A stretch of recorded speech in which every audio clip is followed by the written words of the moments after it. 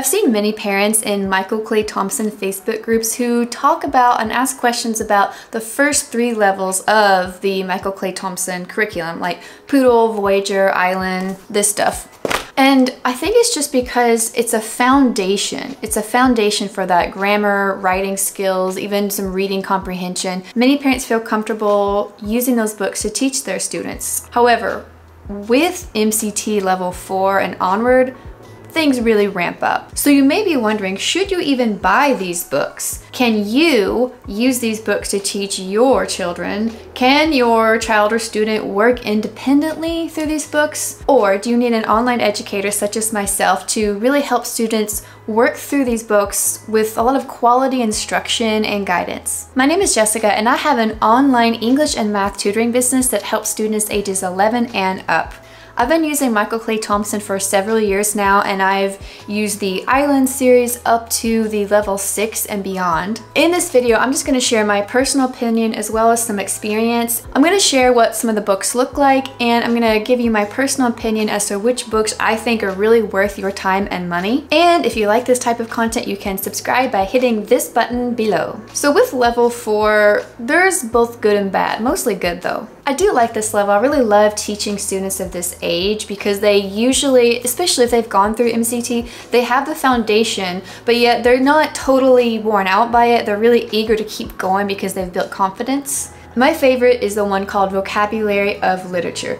To me, these lessons feel more organized than some of the upper level books because they're laid out this way and I think this is just enough content to digest within an hour. That's how I tutor my one-to-one -one students. We I work with them for one hour and we're able to cover quite a bit within that hour. I like that each lesson provides vocabulary from the previous level. So if you have been in the MCT world, these words are reinforcement. But if you haven't, you or your student gets to learn new words that are slightly easier than the new ones that are presented. So take a look at each section. You still get to label sentences, you get to answer some writing questions. This stuff is great if you like consistency. The bad is that it can get repetitive because every single lesson is laid out the exact same way. Of course, if you are a homeschool family, you already know by now that you can pick and choose. You could take one week to do a whole lesson or you could say, we're gonna do two of the pages in the lesson, but then I'm gonna give you creative writing assignments instead of writing with the vocabulary words, whatever you like. Personally, I enjoy buying the instructor manual, the ebook instructor manual, because you get everything, it takes up less space, you don't have to wait for it to come the mail, you just download it immediately and you have all the answers there. So if your student has the student book, it's great. I have taught with these books when the student didn't actually have the book. I just used it to help with their enrichment because they needed vocabulary help, they needed just a, a good solid textbook to help them, but yet you can pick and choose and I think that's something that they don't really want to tell you with MCT because you know they are business they want you to totally buy in and get all the books and work through every single one of them. So be savvy with your pricing. Even if you hired a tutor, if you use one or two books, you're still spending less money than if you buy the entire set. Now, level four, literature. Oof, this stuff is is pretty intense, whether your student is labeled as gifted or not. These books are I wouldn't really recommend these books if I was teaching these students in the classroom or even the one-to-one -one teaching that I do. I mean, I like Edgar Allan Poe and I think everybody should know about Sherlock Holmes and read some of these books, but um, I've read these books with students I've had students do well with these books and I've had some who took one look or their parents took a look and said, uh, can you recommend anything else? And yes, I can because if you can see all the books back here, I've got tons of recommendations for both upper elementary, middle, and high school students that, you know, books that were either on their level or even above their level that have quality stories and character building and he emphasizes the classic stuff and classics are great, but you know down deep really what's best for your child or student. You know that like if they do well with this curriculum and they and suddenly they see a book and say, ooh, I mean, some of these stories are dark, they're violent, they have merit to them, but it depends on your student, their maturity level, their background, all of that. I will say that with every level, when it comes to these literature books, They are usually available for super cheap on Kindle or on Amazon if you buy a used book, or they're at the library. They're very much available, so I do like that. It's not like a really new obscure book that's expensive, so they give you a little break there. Okay, Level 5, I've talked about this level before in a previous video, which you guys are welcome to go check out. I do recommend checking out that one, even though I made it a while back. If you or your student wants to learn more words, they're there. Trust me, there's tons and tons and tons of them. All the stems, vocabulary, plenty of writing activities that are academically stimulating some of them are actually pretty high level if you ask me. So every now and then, if I feel that a student is not enjoying those or isn't getting a lot of value out of them, I'll substitute that for other creative writing or argumentative writing prompts that I have, either that I've come up with or that I find somewhere else from another teacher. Again, if I'm teaching this or if you happen to be teaching this, you can use these books and just pick and choose your favorite things or the most relevant, effective things. There are chunks of classic history here and it's it's educational, you know? It really does shed light on how our world was really shaped by the customs and language and culture from you know like western education. It, you understand so much more about where people have come from. You understand why things are the way they are today. Oh the romans did that so that's why we still do that however the way it's worded is really quite dry. And you know sometimes learning isn't always woo fun you know? It's can be serious. Learning means you get to sit down get to focus read what happened a long time ago. Whether it's completely relatable or not this is worth learning or you have to decide if it's worth learning because you can work through and simply learn vocabulary and skip the that heavy content if you want to. I do pick and choose with that. It's so funny to see how some students really love reading about it and they just eat it up and they're into it and others are just like, eh, you know, I'm just here to learn how to write and do grammar in a better way and be better at reading comprehension and discussion. But hey, there are pictures and everybody likes pictures in a book, even adults, just admit it. I always talk about the Magic Lens. I really love this as the next best grammar book to get. I think the best grammar you can do is, well, first of all, starting with Grammar Town on the island level was always, that's like the best way to get started. And then the other books just simply build on that. Some of it really is just copy pasted. Don't tell Michael Clay Thompson I told you that though. I have an 11 year old right now who is using the magic lens and she already had a lower level. Now this book is just good enough for her because it's got the same rules, right? Same grammar rules, but it just goes into better depth. It gives better examples. It's just more like rich content simply because the book's bigger, there's more going on. There, um, there are a few activities like this. Again, if you go back to that other video, you can kind of take a glimpse at this book. Level 5 word within the word is tied to the level 6 word within the word. So when level 5 ends, it picks back up on level 6. And you can buy those books and use them for like a two year time frame if you want. There are hundreds hundreds of stems in these books. Um, but I will say some of them do cross over and repeat, so maybe that's a good thing, you know, more reinforcement.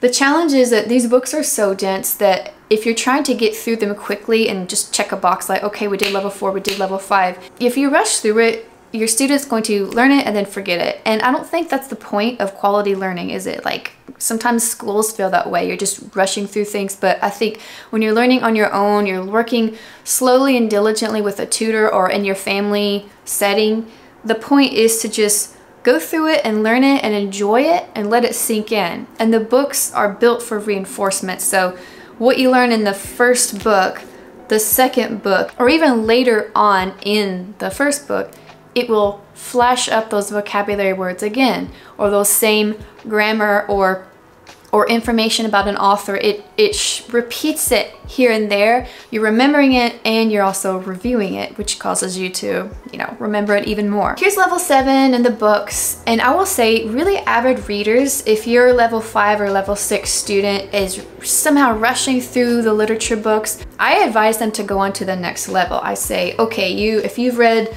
this book here, then go ahead and we can talk about the next novel here and uh, quick tip, it's great to just pick the books that if you're instructing them, pick the ones that you've already read so you can really have a worthy discussion with your student. If I haven't read a book, I try to hurry up and read, well, not necessarily hurry up, but I'll look ahead and say, okay, well, I see that level 7 says to read these three books here, one of them being the narrative of Frederick Douglass. Maybe I've only read bits and pieces of that years ago, or maybe when I taught in the classroom, I taught portions of that, but I can go ahead and read it and then a month later, I can suggest to the student, hey, I think you're ready now to read that book because you finished all the level five and six books. Each level of MCT has a poetry book, but come closer. I'm gonna let you in on a little secret. You really only need building poems. And I know you're thinking, wait a minute, this video is about level four and up. Why are you mentioning a book from level two? Because to me, that book is sufficient enough. Because take a look, this has everything, more than you've ever learned about poetry. All of the terms here, the styles, there are examples here, and there's a glossary, all of that. The other poetry books just seem to repeat that, and I mean, that's okay, I understand it. You want to feel like you're getting a new book with every level, but if you really want to learn poetry, honestly, anytime I teach poetry with students, I go back to that one book and I just say, this book offers all the foundations and we tend to not spend as much time on poetry, I think, in the real world. So therefore, you really only need this book full of poetic foundations here so you can go back, look at the different styles, learn how to rhyme properly, use your new vocabulary words to rhyme, create poems, go back to iambic pentameter. I mean, I don't know about you, but I didn't learn about iambic pentameter until high school, and this book here is already talking about it. See? So I think there's nothing wrong with buying a level 2 book for your middle or high school student if it is good enough and I think building poems is good enough. Okay, the advanced academic writing books, if you want to hear more about that, I can make a separate video about it, so let me know because the more videos like this get seen and shared by you guys, it just lets me know that you guys are curious and you want to learn more. The more it encourages me to make videos about it, so comment below if you want to hear. I have some opinions on it, especially as a tutor like me who in my business, I coach students with writing quite a bit because they need it. I love writing. Students don't get to do enough of it in schools. With homeschooling, you kind of have more time to do it, and that's the beauty of homeschooling, isn't it? I will say that all kids are different.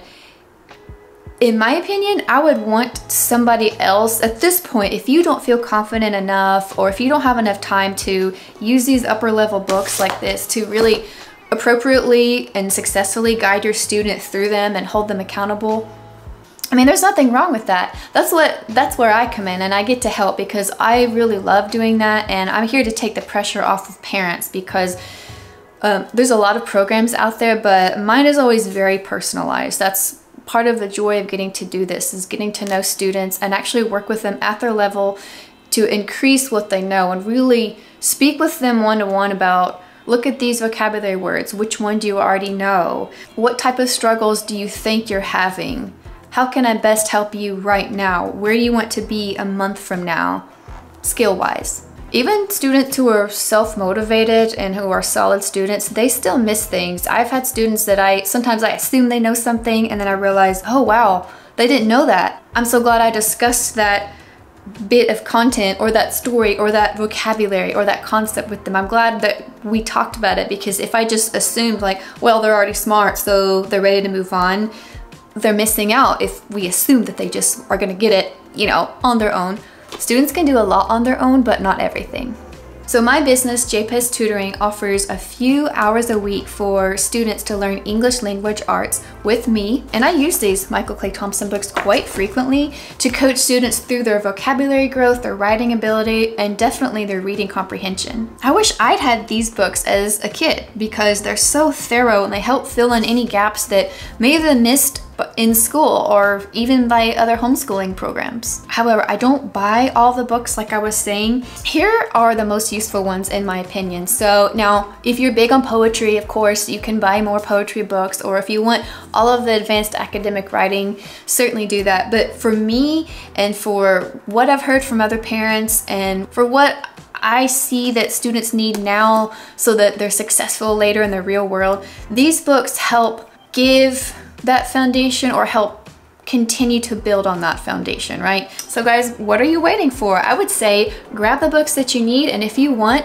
a quality online English instructor who has taught in a classroom and who teaches currently homeschool students and students after school, definitely reach out to me because by now, by the time you see this video, I might still have some openings. I've had students and parents say they did take the Michael Clay Thompson online course and you can. I've helped people who were enrolled in that course. I've also helped people who said they wanted an online course, but they just wanted more one-to-one -one feedback because in those larger classes, you're just not getting the same type of attention or quality feedback that you would get through someone like me. You know, Michael Clay Thompson, the whole world, the whole everything that they offer, I think it is so wonderful and so thorough, but you know, they are business. They're going to encourage you to buy all the books for every single level. And if you want to do that and spend your money that way, you can. But I'd say working with me for a few weeks or a few months can really get your student where you want them to go. But you're savvy. I know you're going to do what's best for you, your student, and your family. Thanks guys for watching. Be sure to give it a like if you liked it, and I'll see you in the next video. Bye.